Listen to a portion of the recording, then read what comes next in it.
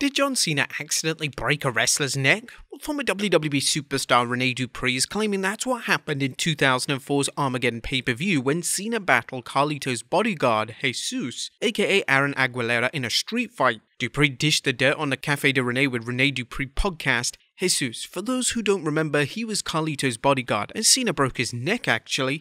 There was a spot where he kicked him in the head that legitimately broke his neck. I felt bad for him because, like, he broke his neck. He was out for like five or six months. Dupree added that when Jesus returned, the WWE allegedly fired him for coming to the arena in his ring gear.